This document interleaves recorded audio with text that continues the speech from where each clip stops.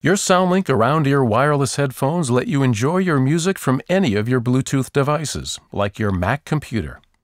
We'll show you how easy it is to pair the two. To pair the headphones using Bluetooth, make sure both devices are turned on. Right out of the box, SoundLink around ear headphones are discoverable. If they're not in discoverable mode, just push the power button up to the Bluetooth icon, then release. When the indicator light pulses blue, they're ready to pair. A voice prompt confirms this. Ready to pair. Now set your Mac to discover the SoundLink headphones. We'll show you using a Mac running OS X 10.10, but the steps also apply to other Mac OS versions. Under the Apple icon, go to System Preferences.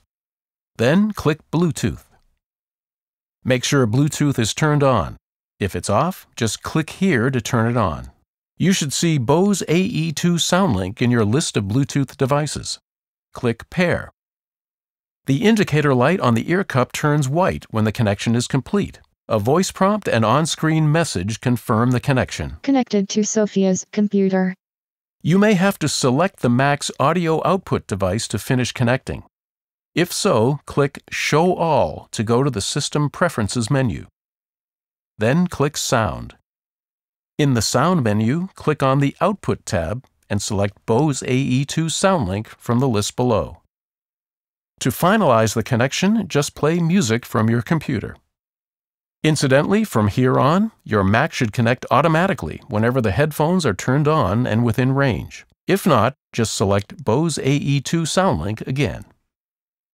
You can also pair a new device when you're already connected to another. Just push the power button up to the Bluetooth icon and release to put the headphones into discoverable mode. Ready to pair. When the indicator light pulses blue, the headphones are ready. Then just follow the same steps to pair the new device. Connected to Sophia's computer and Sophia's iPhone. When two devices are actively connected, you can easily switch between them. Just pause the music on one and play music from the second. That's it. Now it's time for a little music. For more product tips, just visit youtube.com slash Bose.